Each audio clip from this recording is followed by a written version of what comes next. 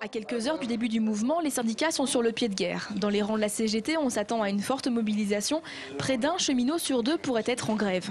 Les syndicats dénoncent le budget 2010 de la SNCF, un budget qui entraînerait 3600 suppressions de postes cette année, soit 25 000 depuis 2002.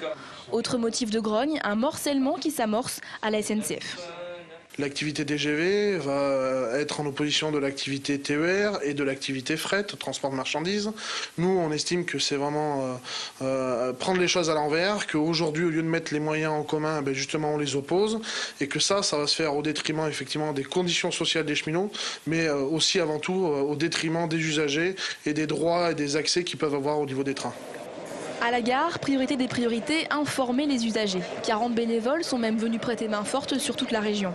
Les voyageurs peuvent également consulter le site internet de la SNCF ou appeler le 0800 593 007 pour connaître l'état du trafic TER. Demain, aucun train ne circulera entre Clermont et Béziers, ni entre Clermont et Nîmes. Les perturbations sont fortes.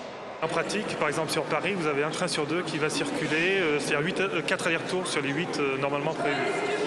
En matière de trafic TER, donc plus local, à nos proximités, on aura 60% des circulations assurées donc soit par train, soit par autocar.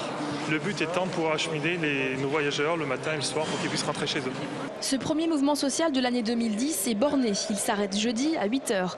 Mais les quatre syndicats qui participent sont formels. Il s'agit là d'un ultimatum. D'autres actions pourraient voir le jour, y compris une grève reconductible.